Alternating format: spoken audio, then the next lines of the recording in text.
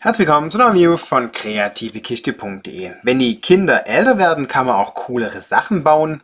Und wenn meine Tochter einen Spielegeburtstag gemacht hat, hat jedes Kind so einen Würfel hier bauen dürfen.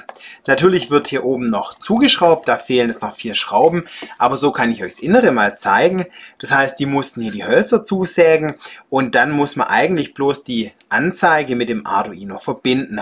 Dann schauen wir es uns mal an. Also bei jedem Tastendruck, den ich jetzt mache, erzeugt ein Zufallsgenerator einfach eine Zahl. Die LEDs gehen kurz aus und dann wird eben eine neue Zahl angezeigt. Die Spannungsversorgung habe ich eben über das USB-Kabel gemacht, das beim Arduino dabei war und der wird dann einfach da eingesteckt. Damit das Ganze nicht so teuer ist, habe ich den Arduino, die Anzeige und die Taste bei Ali gekauft. So bin ich mit Holz und allem drum und dran nur auf ein paar Euro gekommen.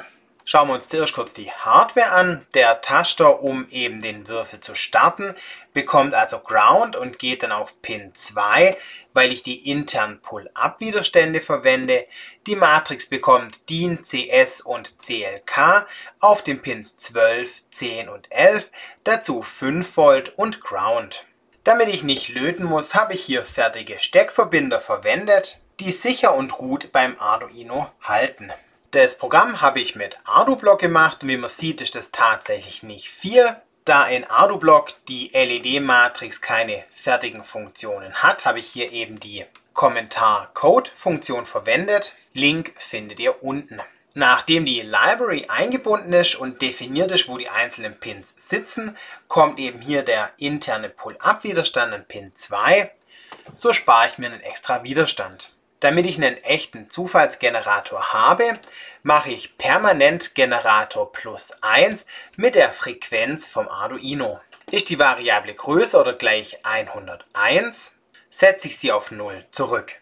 Wird jetzt der Taster am Eingang betätigt, dann wird jetzt eben der Wert aus der Variablen genommen, der jetzt eben total zufällig ist, weil es eben seit dem Start vom Arduino beginnt zu zählen.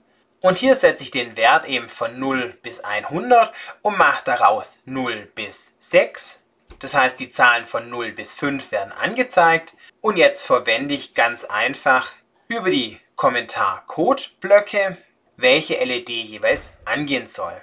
Über das Set Intensity wird die Helligkeit eben angezeigt. Ich habe mich hier für 0,7 entschieden und dann wird eben 900 Millisekunden Pause gemacht, um den Taster ganz einfach zu entprellen.